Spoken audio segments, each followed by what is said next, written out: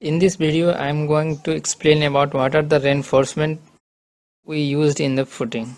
Okay friends, the first reinforcement we are generally provided in the footing is and uh, we call it mesh okay right? So uh, in footing uh, we are providing the reinforcement in x by x direction in y directions. And uh, that reinforcement uh, we, we generally call is mesh okay. So first reinforcement we have is plain mesh so let us know about what is the plain mesh uh, suppose uh, this is the our size of the footing.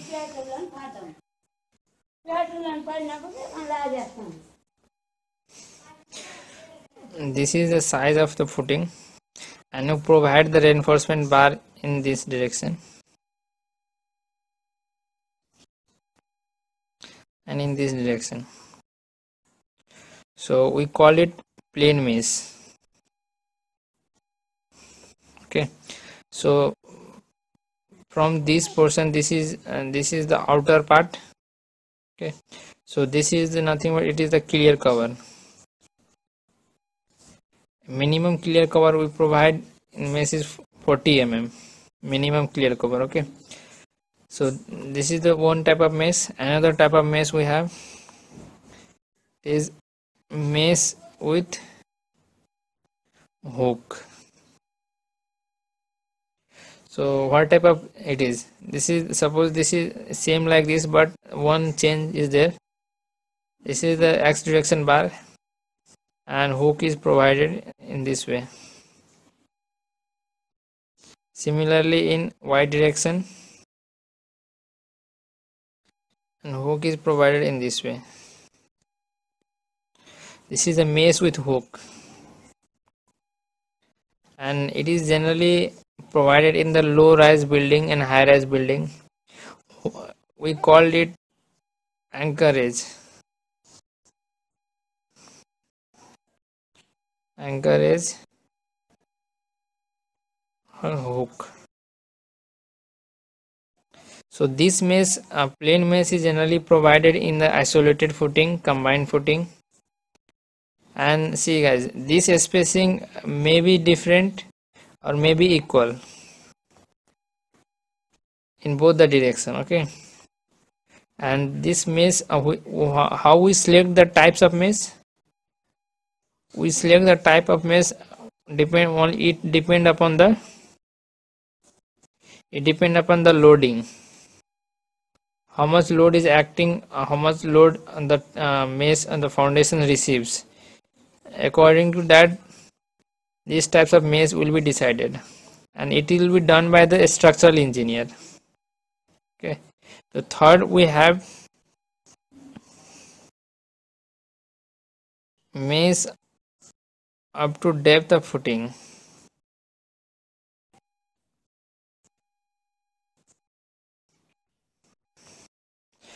so if you see the cross section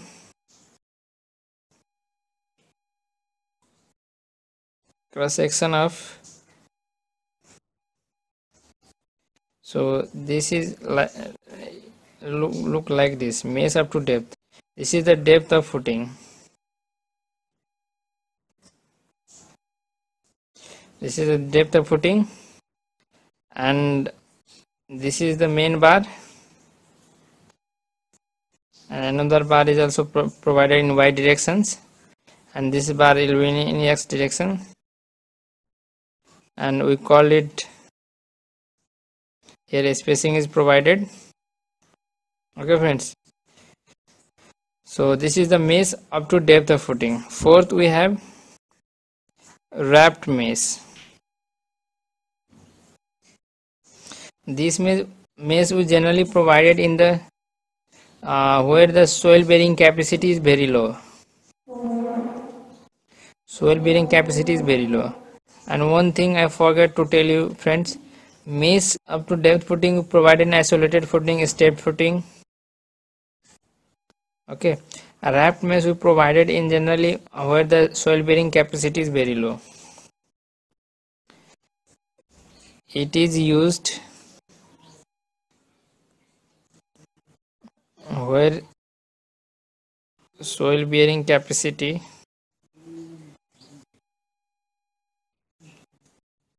Capacity is very low. And this mesh is provided in a in a two directions. Generally two mesh is provided. One is bottom mesh. Bottom mesh and top mesh see friends i'll show you the sectional drawing of raft mesh this is one direction.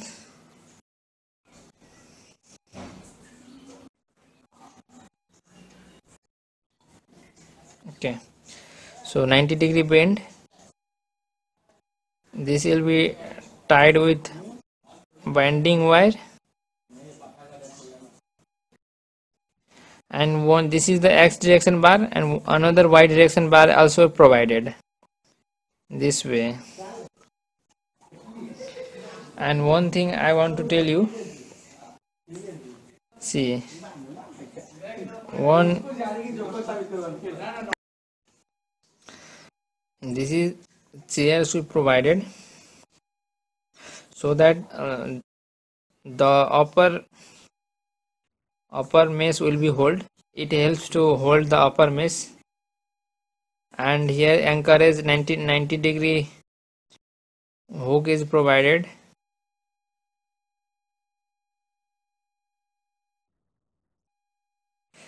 This is the y direction bar. We also call distribution bar